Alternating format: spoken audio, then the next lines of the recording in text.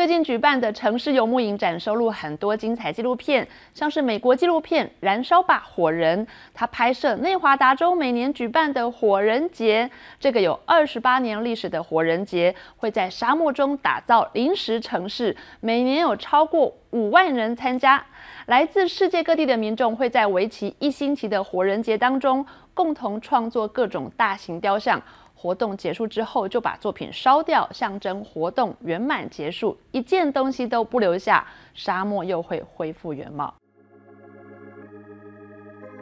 喷火龙，木马屠城中的木马，民众奇装异服，有些是艺术家，有些只是民众。他们群聚在沙漠地区，为的就是这个有二十八年历史的火人节。Burning Man is all about why not overwhelming why. Why not dress differently, act differently, think differently? Why not?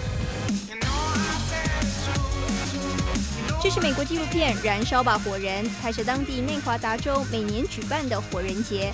来自世界各地超过五万人将荒芜的沙漠打造成临时城市，在这里纸钞派不上用场，参与的民众互相分享食物、水、艺术创作，形成有趣的共有社会。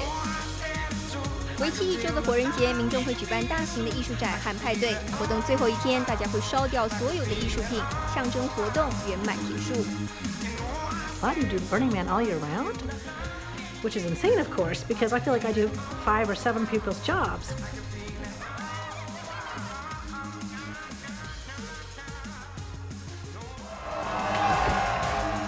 火人节位在加州旧金山的办公室共有五十位全职员工，每届要动员超过四千名职工。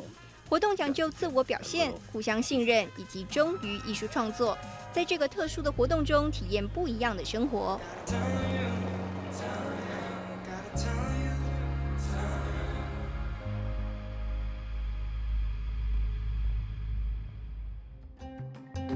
It means everyone is invited to come and play and build and do. Helping each other find that little spark of creativity